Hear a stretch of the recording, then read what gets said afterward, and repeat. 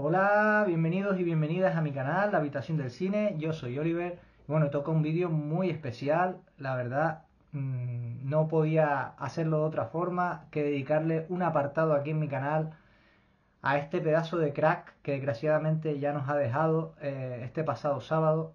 Es una parte de mi infancia que se ha ido, como ya había comentado, en Twitter y en Instagram, ¿no? que, que puse un post eh, el sábado porque la verdad que es un dibujante tremendo que a mí mm, yo me lo he pasado pipa con sus historietas eh, eh, muy muy muy divertidas porque la verdad que tanto de pequeño como de adolescente eh, las leía y, leía sus cómics y yo es que me, me reía pero muchísimo muchísimo. Incluso si tenía algún mal momento, eh, pues mm, me hacía olvidarme un poquito de, ello y, me lo pasaba pipa, ¿no? Mientras, mientras leía esos, esos tebeos.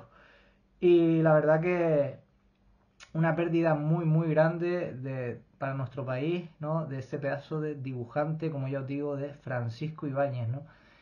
Eh, que en, la, en los cómics de, superhumor, pues eh, creó unos personajes impresionantes, eh, los más conocidos, ¿no? Eh, sus dos sus dos grandes ojitos, ¿no? Su ojito derecho y su ojito izquierdo, ¿no? Que son Mortadelo y Filemón, eso los conocemos todos. Eh, que por cierto, este vídeo voy a mostrar mis diferentes películas y, series de, de, estos dos pedazos de personajes, ¿no? Como son Mortadelo y Filemón. Pero no solo eh, dibujó a Mortadelo y Filemón, ¿no? no solo creó a estos dos cracks, a estos dos agentes de la tía, sino también eh, creó a personajes como el Botones Sacarino, ese pedazo de, personaje despistado, ¿no? Que, siempre mm, se dedicaba más a, otras cosas eh, en su trabajo que a su propio trabajo y se llevaba muchísimas broncas. O también, por ejemplo, Pepe Gotera y Otilio, ¿no? Que si recordáis la serie de Manos a la Obra, Manolo y Benito, yo creo que se inspiraron un poquito eh, en ese cómic, ¿no? En, ese, en esos personajes, ¿no? De Pepe Gotero y Otilio, unos chapuzas a domicilio, pero de, los buenos. Luego también eh, me acuerdo de, de Rompetello, me encantaba el personaje de Rompetello, madre mía, cómo, cómo confundía ¿no? los letreros, eh, yo qué sé, a lo mejor eh, ponía, yo que sé, cualquier cosa óptica y él se pensaba que era una otro, otro sitio, otro establecimiento, ¿sabes? Ahora no, no recuerdo bien, pero yo me reía muchísimo con los, con los tebeos de, de Rompetello. Eh, que no veía tres en un burro, por así decirlo, tenía muchísima falta de vista. Y luego también, eh, como no, eh, también leí muchísimos cómics de 13 Rue del Percebe que no sé si, os acordáis de, esto. Estos son un poquito, eh, son un poquito menos conocidos. Eh, pero por ejemplo, yo creo que, por ejemplo, Aquino Quien Viva se inspiró mucho en, en ese en, ese cómic, ¿no? De, de 13 Rue del Percebe, ese edificio, ¿no? En que, había muchísimos personajes y cada cual estaba más loco. y la verdad que eran muy, muy divertidos todos ellos. No solo Mortadelo y Filemón, sino todos estos que, que os estoy comentando. O sea que por eso para mí ha sido una, gran pérdida. Y la verdad que me han dado ganas de, leerme algún cómic más de, estos cracks. De este crack, ¿no? De, de Ibáñez. Pero no, desgraciadamente yo tenía muchísimos. Pero ya los he perdido. Algunos yo creo que mis sobrinos los heredaron. y ya no sé ni dónde están. Y otros se metieron en cajas. Y nada, eh, un rollo. Creo que algunos hasta se tiraron, ¿no? Desgraciadamente. Pero bueno, una pena, la verdad. Pero bueno, por lo menos me queda aquí el formato físico, que no es lo mismo. Porque la verdad que esto es lo, bonito de, estos personajes era leerlos en el TVO, ¿no? Ahí ver las páginas y, y disfrutarlos, ¿no? Y, yo qué sé, y yo, yo por ejemplo me ponía, que los leía en silencio obviamente, y me ponía aquí a imaginarme las voces, ¿no? De los personajes. Pero bueno, eh, nada, no voy a enrollarme mucho más en esta presentación. Eh, y voy a empezar con, el vídeo que tengo cositas aquí que mostrar y a ver, a ver qué os parece. Así que sin más dilación, vamos a empezar.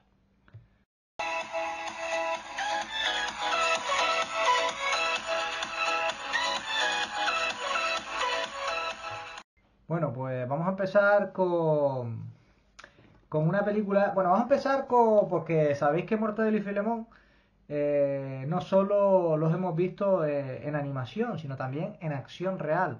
Vamos a empezar con una de, las, de sus dos peliculitas que, salieron en acción real. Tengo que decir que Contracorriente acaba de sacar una edición en Blu-ray de, esta película que no sé si me haré con ella más adelante, si acaso en Black Friday, ¿no? porque yo es que tengo el DVD y es un DVD especial con, un documental y todo que viene, que es este de aquí. Este DVD de, eh, como ya os digo, de la película, la primera película en acción real de Mortadelo y Filemón, La gran aventura de Mortadelo y Filemón. Aquí la tenéis. Y aquí pone paquetón exclusivísimo para coleccionistas. Aquí lo veis con estos dos actores protagonistas, ¿no? Quien hacía de, de Filemón, que era Pepe Villuela, y quien hace de Mortadelo es Edu Soto. Aquí los tenéis a los dos, estos dos cracks. Y la verdad que la elección de los personajes chapó, ¿eh? Tanto estos dos, como el profesor Bacterio, como el superintendente, como Ofelia. Unos personajes muy bien elegidos por el director. Y que no es otro que Javier Fesser, un muy buen director español, ¿no? Que nos ha, nos ha dejado muy buenas pelis, como por ejemplo la de Campeones, que me gustó muchísimo esa película, la de Campeones, os la recomiendo si no la habéis visto. Y bueno, aquí tenemos esta edición tan chula, que la verdad que, que es completita, completita. Aquí veis, como ya os digo, este documental de 10 años en, en Pendleton, que por cierto el documental este no lo he visto, y bueno, aquí veis todo lo, que tiene de, contenido extra. Ahí lo veis, todo este contenido extra y todo lo que trae aquí el documental. Y bueno, voy a poner un poquito las cositas. Empezando por... Eh, estoy aquí. Empezando por el documental, 10 años de Pendleton. Aquí lo veis. Aquí lo veis, todo lo que lo que trae este disco este disco extra, ¿no? Y, aquí veis todo lo que trae, ¿no? Hablando de las películas, de Fesser y, y el otro que participó con él, que es Luis Manso, ¿no? Eh, publicidad, aquí, internet, y bueno, todo un poquito, la verdad que está genial. A ver si me pongo a ello, ¿no? A verlo, porque aquí el documental este no... Como ya os he dicho, no, no me ha dado por verlo todavía. Y bueno, aquí tenemos la peli. Que bueno, la peli... Hay que decir que tampoco os esperéis una maravilla, que no la haya visto. Pero bueno, los fans de Mortadelo y Filemón eh, la, vamos, vais a disfrutar. Yo la disfruté, a pesar de lo mala que es. Pero bueno, la verdad que, como ya os estaba diciendo, eh, lo mejor la elección de los personajes chapó, ¿no? El vestuario y todo, chapó. Y, está muy bien recreado todo, ¿no? Todo lo que es el, el mundillo, ¿no? De, de Mortadelo y Filemón, ¿no? Aquí vemos que trae dos discos, el disco 1 la peli y el disco 2 un disquito de extras. Aquí tenemos los extras, nos dice ahí Filemón. Y bueno, aquí hay un papelito de publicidad de, otros títulos.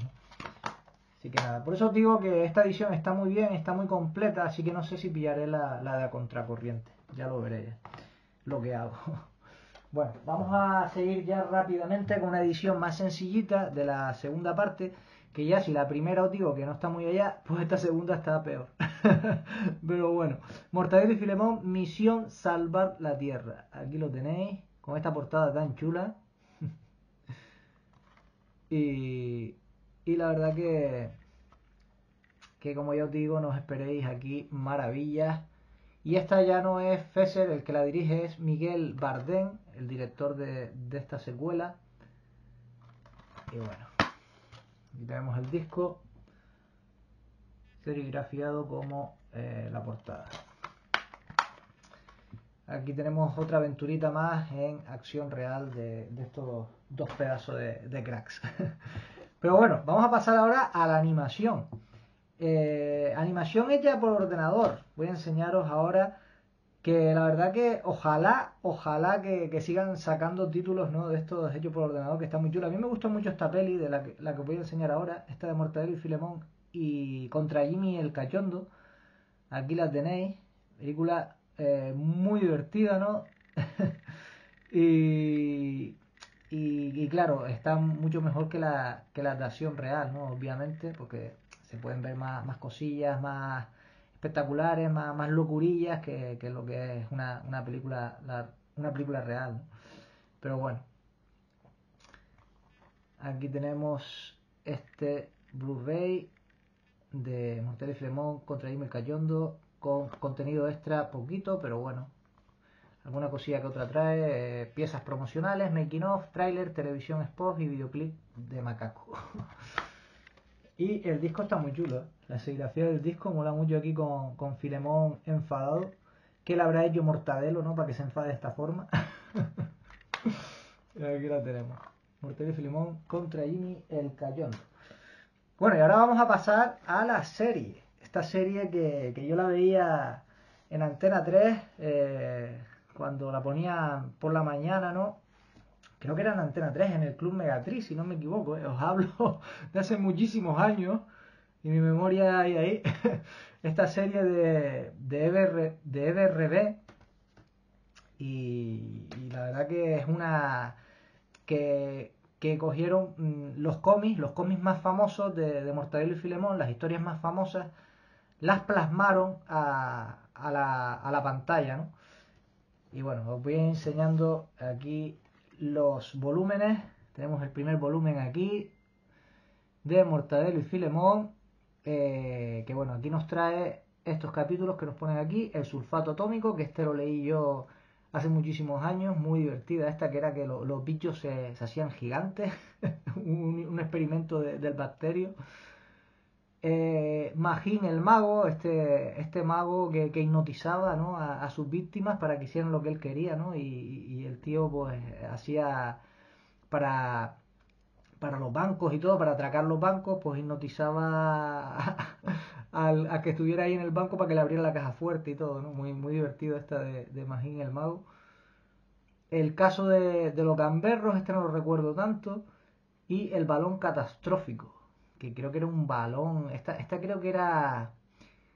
No sé si tenía que ver con un balón de fútbol o algo de eso, que, que soltaba un gas y, y, hacía algo ahí, pero no, es que no, esta no recuerdo mucho. Bueno, aquí los tenemos, los cuatro capítulos, como estaba diciendo. Ahí los veis. Y bueno, pues os enseño el disco con su serigrafía. Ahí lo veis. Bueno, este es el volumen 1. Vamos con el volumen 2.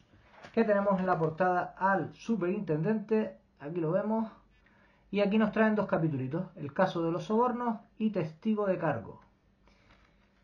Ahí lo veis. Dos capítulos. Y el disquito. Vamos con el siguiente. Tenemos aquí a Filemón en la portada y nos pone que nos trae el caso de la Estatua de la Libertad y Safari Callejero. De este me acuerdo, el cómic de Safari Callejero, que los animales campaban a sus anchas por toda la ciudad. y, la verdad que, es muy divertido, ¿no? Como todos los, de Mortadelo y Filemón, todas las historias de Mortadelo y Filemón, que la verdad que se lo pasa a uno pipa, ¿no? leyendo estos, estos tebeos. Me están dando ganas de, comprarme algún tebeo de Mortadelo y Filemón, madre mía. Y que me, encanta el, Mortadelo, que es el que tenemos aquí ahora en la portada. Cómo se disfrazaba de, muchísimos de muchísimas cosas, ¿no? De, desde insectos a superhéroes a cualquier tipo de profesión. Es una, una locura lo de Mortadelo. Aquí tenemos eh, este tercer, este cuarto volumen ya con los inventos del profesor Bacterio y el caso de los diamantes. Nos traen aquí. En estos amarais tan finitos, como veis. pero la verdad que muy chulos, a ser tan sencillos, muy muy chulos. Estos los pillé yo de segunda mano a un chaval, creo que, que, los consiguió por mediación de un periódico o algo así, pero no estoy, no estoy muy seguro, la verdad. Vamos con el siguiente volumen, que tenemos aquí a la secretaria que está enamoradísima de Mortadelo, Doña Ofelia. Aquí la tenemos. Y nos trae estos capítulos de Misión de Perros y el caso de Billy el Horrendo. Ahí lo tenéis. La, la contraportada y el disquito con su serigrafía igual que, que la portada. Repetimos imagen, pero con diferentes capítulos, y es este de otro de Mortadelo, con eh, la máquina de copiar gente, este invento del profesor Bacterio, ¿no? Que, que hacía clones, y en busca del antídoto. Ahí los tenéis. Bueno, tengo que decir que, que estos capítulos se ven en cuatro tercios, ¿vale? No se ven en pantalla completa, se ven en cuatro tercios, son una, es una serie muy antigua pero bueno, se, se, ve más o menos bien y se escucha la, se escucha bien, no se escucha tan mal. Pero bueno. Seguimos con el siguiente volumen. Filemón otra vez en la portada y tenemos por aquí a Contrabando y los Callarros Majaretas. Vaya titulito. aquí vemos la parte trasera y el disquito con la serigrafía igual que la portada. Volvemos con el superintendente en el siguiente volumen y tenemos por aquí los capítulos de la gallina de los huevos de oro y la la elasticina, la elasticina. Aquí lo veis. Aquí lo vemos. Y aquí está el disco. Vamos con el siguiente. Tenemos por aquí al profesor Bacterio, a ese loco de, los experimentos. Y lo tenemos por aquí con los capítulos eh, Los superhéroes del profesor Bacterio y el caso de los secuestradores. Aquí lo veis. Vemos la parte trasera. Ahí lo veis. Perdona que no se enfoca esto mucho. Lo estoy viendo. Y aquí vemos el disquito. Vamos con el siguiente, Mortadelo y Filemón en la portada. Aquí los vemos a Mortadelo, en vez de con una porra, tiene ahí una berenjena. a Filemón ahí con su pistola. Y tenemos aquí los capítulos Hay un traidor en la tía y la venganza de Tengo Pis. Me está dando ganas de, ponerme algún capitulillo de, de esta serie, la verdad. que eso es muy, muy divertida, ¿no? Aquí la veis, pero bueno, no hay nada como, como leer los cómics, ¿no? Y vemos aquí al profesor Bacterio ya en el penúltimo volumen, que sería eh, La Brigada Lichera y El Ansia de Poder. Ahí lo veis. Parte trasera. Y el disquito. Y nos vamos con el último volumen, que está por aquí, con la señorita Ofelia en la portada, eh, casos aéreos y el otro yo del profesor Bacterio. Ahí lo veis. Ahí lo veis. Parte trasera con esas imágenes de los capítulos. Y el disquito. Y nada. Aquí tengo ya la serie completa. Tengo la serie completa animada de... Eh, y Filemón. Serie muy recomendable para quien os guste los cómics de estos personajes. Y nada, hasta aquí el vídeo, hasta aquí mi pequeña colección ¿no? de, lo que, de lo que tengo en físico de, de Mortadelo y Filemón. Como ya os digo, tenía muchísimos cómics, pero se me han perdido todos, es una lástima. Pero bueno, por lo menos tengo esto aquí y menos nada. nada, eh, espero que, que os haya gustado el vídeo. Eh, me ponéis en comentarios si vosotros también eh, vais a, a, notar mucho la pérdida de este, de este pedazo de dibujante como es Francisco Ibáñez y que espero que, que este homenaje, esté donde esté, le haya gustado a, este crack Y nada, ponéis en comentarios eh, vuestros personajes favoritos de, de Ibáñez, eh, si habéis visto estas pelis que, os he enseñado, esta serie, o lo que queráis ponerme, si, si habéis leído cómics ¿no? de, de, estos cracks, o lo que, queráis, lo que queráis ponerme, chavales y chavalas, que me encanta leeros a todos y todas. Dale like, por favor. Suscribiros los que no estáis, por favor. Y nada más. Eh, viva, como digo siempre, para, para terminar, viva el formato físico y que no muera nunca, chavales y chavalas. Y que viva por siempre por toda la eternidad, don Francisco Ibáñez.